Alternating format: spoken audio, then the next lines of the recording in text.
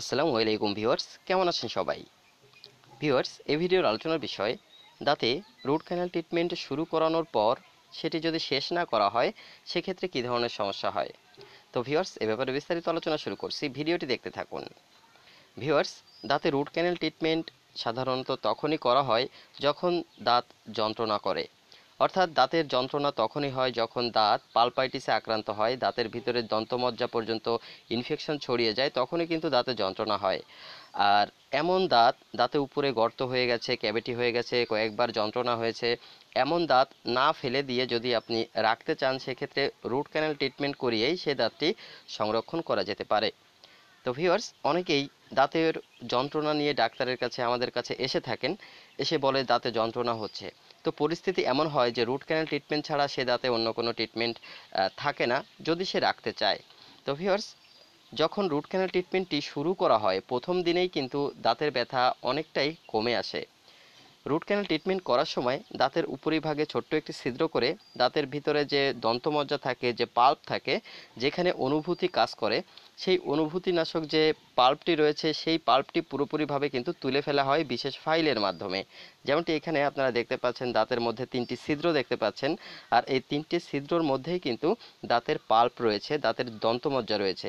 তো ভিওয়ার্স দাঁতের যে দন্তমজ্জা থাকে সেটি ইনফেকশন হওয়ার কারণেই কিন্তু দাঁতে ব্যথা হয়, যন্ত্রণা হয়। আর রুট ক্যানেল ট্রিটমেন্ট করার সময় বিশেষ এ ধরনের ফাইলের মাধ্যমে দাঁতের সেই নষ্ট হয়ে যাওয়া দন্তমজ্জা পুরোপুরিভাবে পরিষ্কার করে ফেলা হয়, তুলে ফেলা হয়। যেটি এখানে আপনারা দেখতে পাচ্ছেন যে দাঁতের যে রুট অংশ রয়েছে, দাঁতের যে শিকড় রয়েছে, সেই শিকড়ের মধ্যেই কিন্তু দাঁতের দন্তমজ্জা বা পাল্প রয়েছে। সেই শিকড়ের মধ্যে থেকে যখন এই ফাইলের মাধ্যমে পাল্পটি পুরোপুরিভাবে তুলে ফেলা হয়, পরিষ্কার করে ফেলা হয়, তখন আর সেই দাঁতটিতে কোনো ধরনের ব্যথা বা যন্ত্রণা, অনুভূতি কিছুই থাকে না। আর এটি প্রথম দিনেই এমন করা হয়। তো ভিউয়ার্স যেহেতু প্রথম দিনে দাঁতের ভিতরের যে দন্তমজ্জা তুলে ফেলার কারণে কিন্তু দাঁতের কোনো ধরনের ব্যথা থাকে না। তো যখন ব্যথা না থাকে, তখন অনেকেই কিন্তু আর দ্বিতীয়বার ডাক্তারের কাছে না এসে সেভাবেই রয়ে যায়। তো ভিউয়ার্স এর জন্য কিছু সমস্যা হয়ে থাকে। যেহেতু রুট ক্যানাল ট্রিটমেন্ট করার সময় দাঁতের দন্তমজ্জা তুলে ফেলা হয়, তখন দাঁতটি দুর্বল হয়ে যায়। দাঁতে কোনো ব্যথা থাকে না ঠিকই, কিন্তু দাঁতটি কিন্তু দুর্বল হয়ে যায়। আর দুর্বল হয়ে যাওয়ার কারণে এই রুট ক্যানাল ট্রিটমেন্ট শুরু করেছেন এমন দাঁতের উপরে যদি কোনো ধরনের শক্ত কোনো কিছু কামড় পড়ে, তাহলে এমনভাবে সেটি ভেঙে যেতে পারে। অথবা পরবর্তীতে আপনার সেই দাঁতে যন্ত্রণা, ব্যথাও হতে পারে। কারণ একদিনেই কিন্তু রুট ক্যানাল ট্রিটমেন্ট কমপ্লিট হয় না।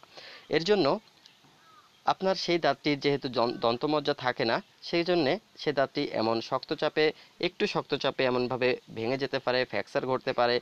এছাড়া ভিউয়ার্স যদি রুট ক্যানাল ট্রিটমেন্ট করা দাঁত সেভাবে রেখে দেওয়া হয়, সেক্ষেত্রে দাঁতের কিছু কিছু অংশ ধীরে ধীরে ভাঙতে থাকে। ভাঙতে ভাঙতে এক পর্যায়ে ঠিক এমন পর্যায়ে চলে আসে যেমনটি এইখানে দেখতে পাচ্ছেন। তো ভিউয়ার্স অনেকেই মনে করে যে দাঁতে ব্যথা না যেহেতু দাঁতে ব্যথা নাই, হয়তো আর ডাক্তারের কাছে যাবেন না। বাস্তব অভিজ্ঞতার থেকে বলছি, অনেকেই রুট ক্যানাল ট্রিটমেন্ট শুরু করে পরবর্তীতে আর আসেন না। কিন্তু কিছুদিন পর দেখা যায় যে সেই দাঁত নিয়ে আবারও সে চলে আসে চেম্বারে।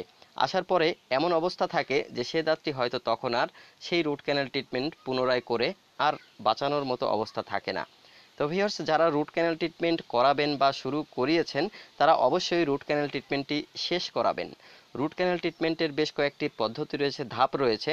যে ধাপগুলো আপনাকে অবলম্বন করতে হবে, একের পর এক আপনাকে ডাক্তারের কাছে যেতে হবে।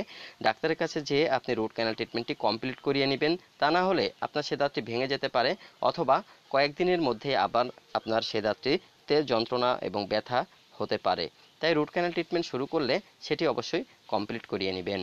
তো ভিউয়ার্স ভিডিওর আলোচনা এই পর্যন্তই। ভিডিওটি ভালো লাগলে শেয়ার করবেন আর চ্যানেলটি ভালো লাগলে সাবস্ক্রাইব করে রাখতে পারেন দাঁত সম্পর্কে জানার জন্য। সবাই ভালো থাকবেন। আসসালামু আলাইকুম।